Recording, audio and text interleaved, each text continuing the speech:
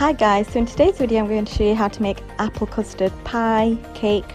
My sister-in-laws thought it was more pie-like, I thought it was a bit more cakey, so whatever, whatever you think.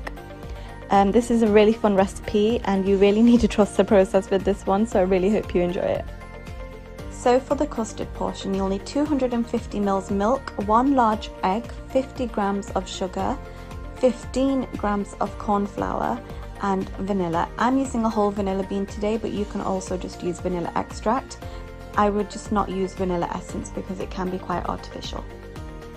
So I thought I would just quickly show those of you who don't know how to use vanilla bean. I'm just cutting it in half and just scraping the seeds out and those seeds are where that pure vanilla flavour is. The more seeds the better and don't throw the stem away guys, you can actually just pop it in a jar with some sugar, leave it for a few days and you've got vanilla sugar and I'm going to actually end up using the stem in my custard as well just to further infuse it. So to make the custard I'm adding in all those ingredients into a saucepan. So I'm adding in my egg, my milk, my sugar, my corn flour and my vanilla bean seeds and we're going to give that a good whisk. You're then going to cook this on low heat until it thickens and I've just added in my vanilla bean here as well. I just added a little bit of food colouring also because my yellow, my yolks weren't yellow enough and I wanted it a little bit brighter but I kind of went a bit overboard and this is the consistency you want with your custard because don't forget it's going to further thicken in the fridge once it starts to cool.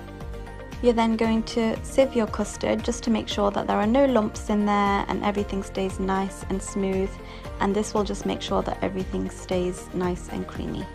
So after you've sieved your custard, I'm just trying to show you all those beautiful vanilla bean specks in there. I just love that. And then we're just going to cling film this until we need it for later and just keep it in the fridge. For the cake portion, you'll need two large eggs, one and a half peeled and thinly sliced apples of your choice, 150 grams of sugar, 200 grams of plain flour and 1 teaspoon baking powder, and 100 ml of whole milk. So to begin we're going to add in our eggs and sugar into a medium sized bowl and whisk these together until it's lighter in colour and almost double in size like this. You can also use your hand but it will take a lot longer and once it reaches this stage we're going to add in our milk and just give that a good mix like this. We're then going to sift in our plain flour and baking powder and this just ensures that there's no lumps. This is optional but I also added in one teaspoon of vanilla and we're just going to gently fold our flour and vanilla into our egg mixture like this. After we've done that, we're going to add in our apples and further fold this in very gently. You don't want to knock all of that air out from the eggs. So after you've folded your apples in, you're then going to line an 8 by 8 inch brownie tin or square tin, whatever you have. This is just what I use for my brownies. And I'm just going to add my mixture into that and spread it out like this. Just make sure that it's nice and evenly spread out. So then I added in my custard mixture into a piping bag and I'm just piping lines across, just trying to make some sort of a shape like this. I'm, I'm just doing like little diamond shapes, square shapes like this. My piping skills are not to be looked at please. I'm not very good at piping or trying to make things pretty.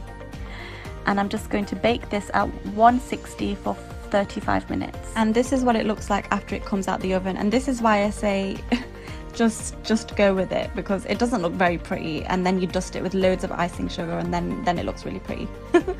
So I've let it cool for about 10 minutes and then I'm just going to cut out some slices and this is what it looks like. It was so yummy guys. It was really light in texture and we were in a rush but I really hope you guys enjoyed this recipe. Thank you so much for watching